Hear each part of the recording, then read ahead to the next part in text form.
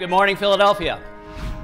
We're probably in one of the most remarkable times to be humans. How in the world are we going to function as human beings, as marketers, as executives, as pharmaceutical companies, given this new world? When I get an invitation from Indegene, I don't say no. But of course, digital is a hot topic to figure out how to make sure we're incorporating digital strategy into all we do. So that's why I'm here today.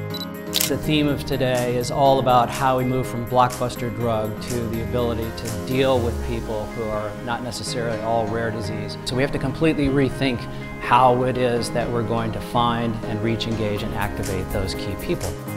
But we recognize that behind each of you, there's an actual individual that we're trying to care for. We are obsessed with elevating the human condition. It's amazing just to figure out how entrenched our lifestyle is now in the digital space and how that impacts us in a pharmaceutical capacity and how we market and promote to our patients and HCPs.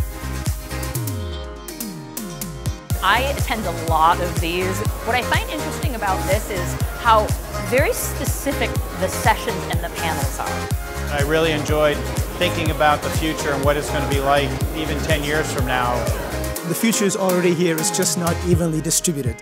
This is not the future. We are now in a world of ambient computing. There is so much change happening, uh, there is so much opportunity digital offers to reimagine how you bring the products to the market. You know, these events are good because number one, you're bringing all the experts from the industry together and usually the topics are very stimulating. But one thing I think we should hold close is this idea that data as a currency is actually going to become more valuable possibly than currency itself.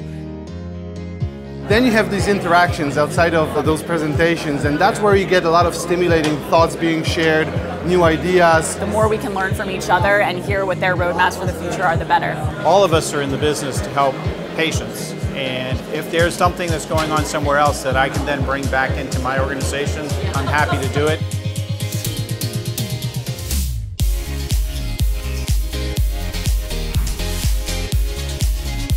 I thought it was a terrific event. It was really well organized. There was great discussions, so really quite pleasant.